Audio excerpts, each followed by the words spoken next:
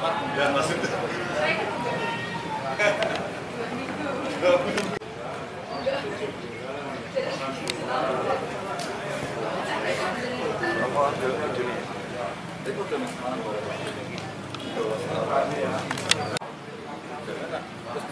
terus acara meneh wis kok iku ikrar kok ora nyambung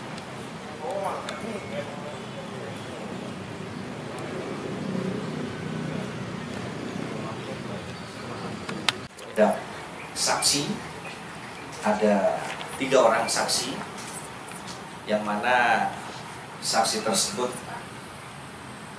mengetahui adanya bayi laki-laki yang ditaruh di rumah warga. Kami lakukan pendalaman kurang lebih hampir tujuh hari dan kami menemukan beberapa bukti petunjuk yang mengarah kepada siapa yang menyimpan, siapa yang menaruh terhadap bayi.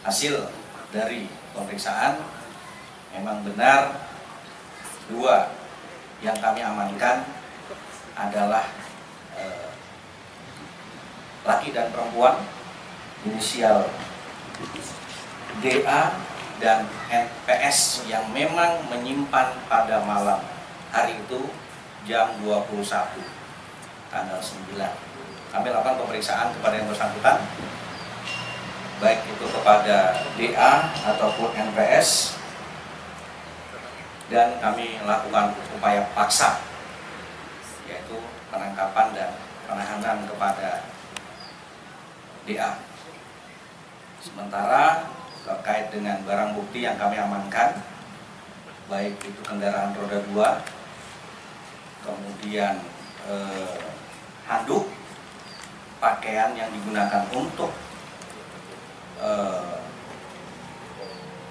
bayi tersebut kemudian ada gunting yang digunakan untuk memotong pada saat tanggal 8 malam itu di tempat di suatu tempat di kos-kosan itu memotong ari-ari bayi. Sementara bayi sekarang ada di dinas sosial provinsi Jawa Tengah. Dengan motif keterangan yang sudah kami dapatkan rasa takut dari pasangan laki dan perempuan karena memang disinyalir perbuatan di luar nikah. Itu habis dilahirkan terus di se- selang berapa lama dari melahirkan terus ditaruh di tempat warga itu? Jadi eh, lahir tanggal 8 jam sekitar malam hari jam 20. Jadi bayi ini sempat bersama ibunya sampai sampai dengan besoknya. Di selang satu hari itu si tersangka ini menghubungi tersangka yang satu menyatakan bahwa tolong datang ke rumah karena kondisinya sakit. Kemudian datang tersangka yang satu bersama-sama kemudian mengambil suatu keputusan untuk bayi ini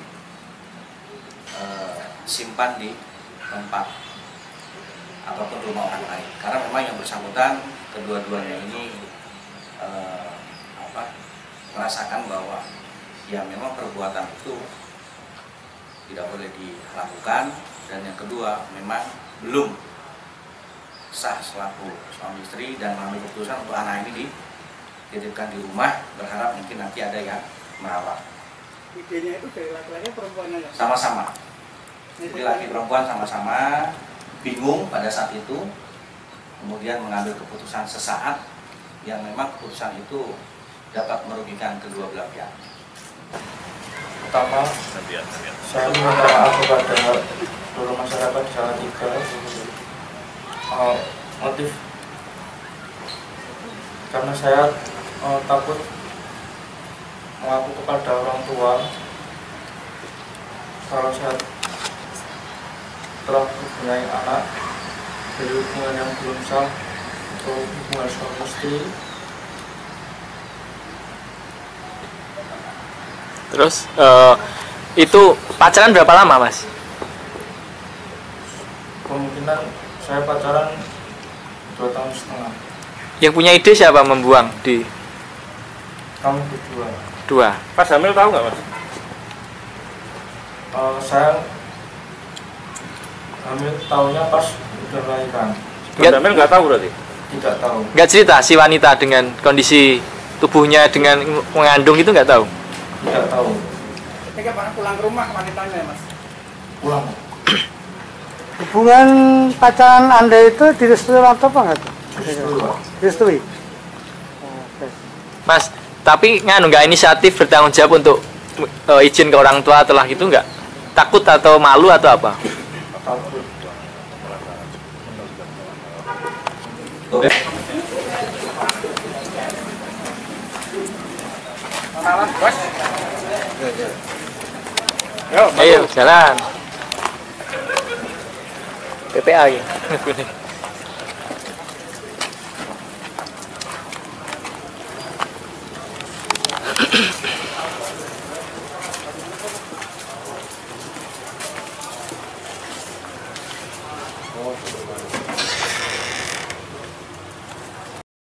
Jangan lupa follow, like, dan subscribe sosial media Tribun Jateng.